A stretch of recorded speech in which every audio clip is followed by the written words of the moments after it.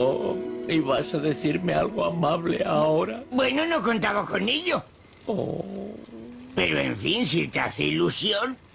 Hijo, no me arrepiento de haberte tenido.